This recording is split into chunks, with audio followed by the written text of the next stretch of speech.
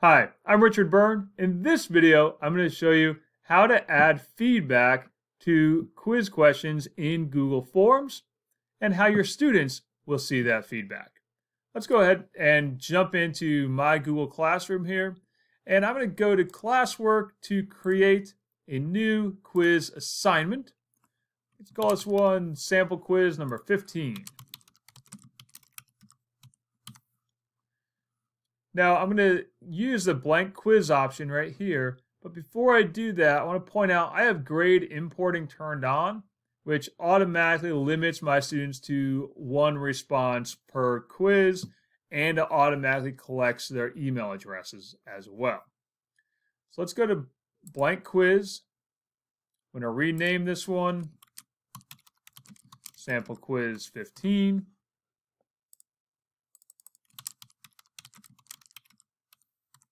Let's add a couple of questions. Let's start out with, what is the tallest mountain in the world?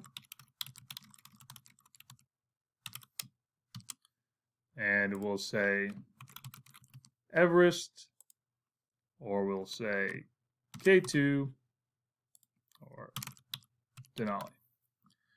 Now, I'm going to go to my answer key and set my point value.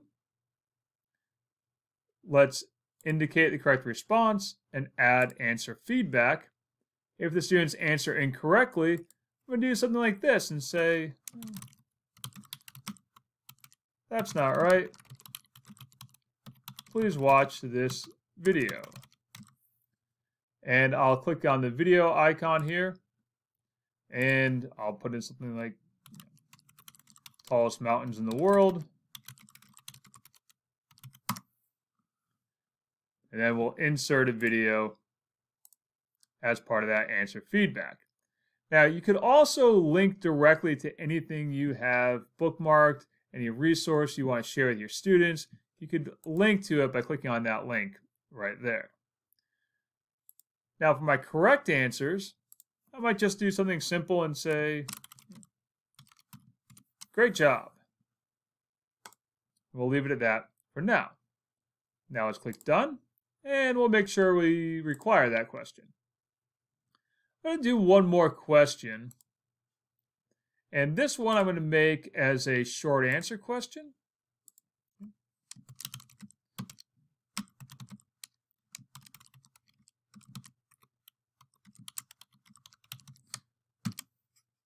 And now let's go into my answer key. I'm going to add a correct answer.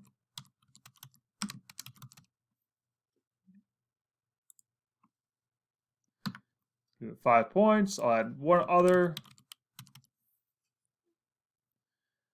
Now, all other answers I'll mark incorrect. And let's add some answer feedback. Now, in this case here, my feedback, I'll just say, you know,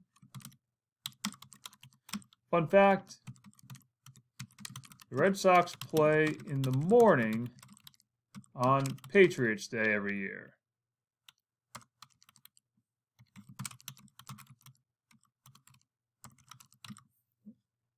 And again, I could add some more resources here in the form of a video or a link, but I'll just hit save on that one and click done.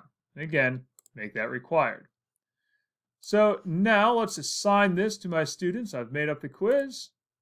Let's assign it to my students with the due date of tomorrow.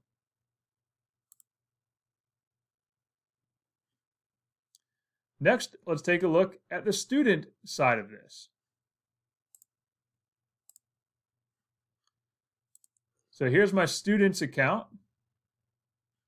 And he's going to click on the new assignment. He's going to go take that quiz. He's going to answer this one.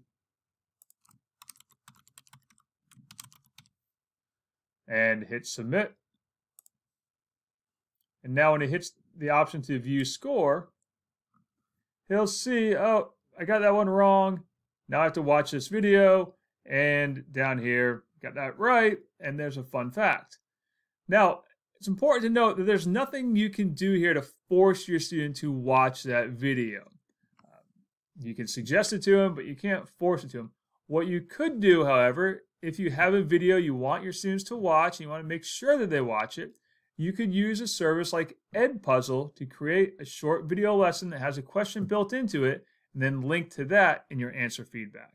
Now I have a video about how to use Edpuzzle linked up in the description down below.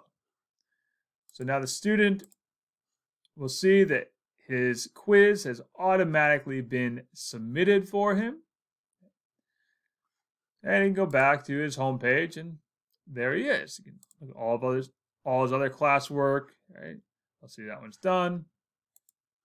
So now, on the teacher side of this, I'll refresh this. And we'll see sample quiz. Right? One person has turned it in. Ah, Mason's turned it in. Okay. Now, I can go back over here to my sample quiz where I was editing it, and we'll see the responses have come in. And I can even open that up in a new spreadsheet if I like. So I have a new spreadsheet where I can see when Mason took it, his score, right, how he answered each individual question. Of course, I can also see that down here in the breakdown of the scores. But over here, I have the option to import grades, or I can manually write in a grade for my student.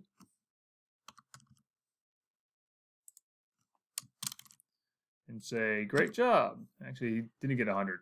Never mind. He got 50.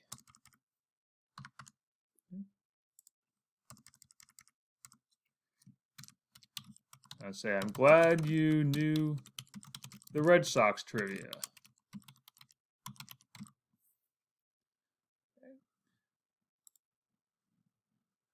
And now you can go in and return that work.